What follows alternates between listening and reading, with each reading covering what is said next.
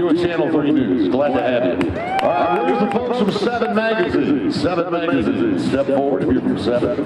How about the View News? View News. There you are, two guys. Glad to have you. Finally, with uh, KWNR Radio. Where did that crew? Okay. Top up the winter pink night. Susan G. Komen Foundation getting every dime we raise in ticket sales.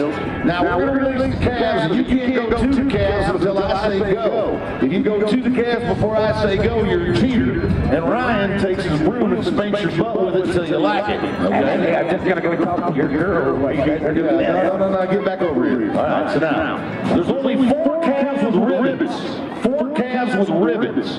And the people who are able to get the ribbons off the tail of the calves and bring them. Where's Rick Smith?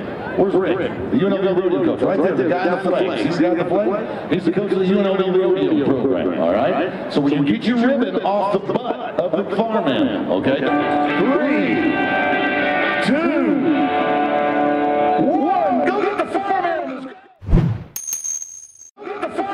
Forrest,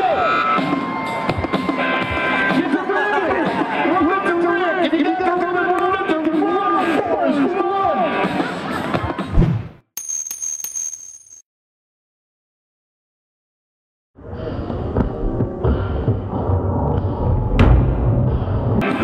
Oh, there's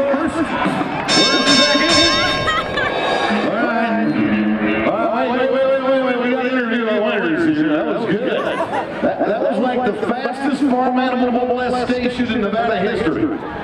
That's saying something, man. That's saying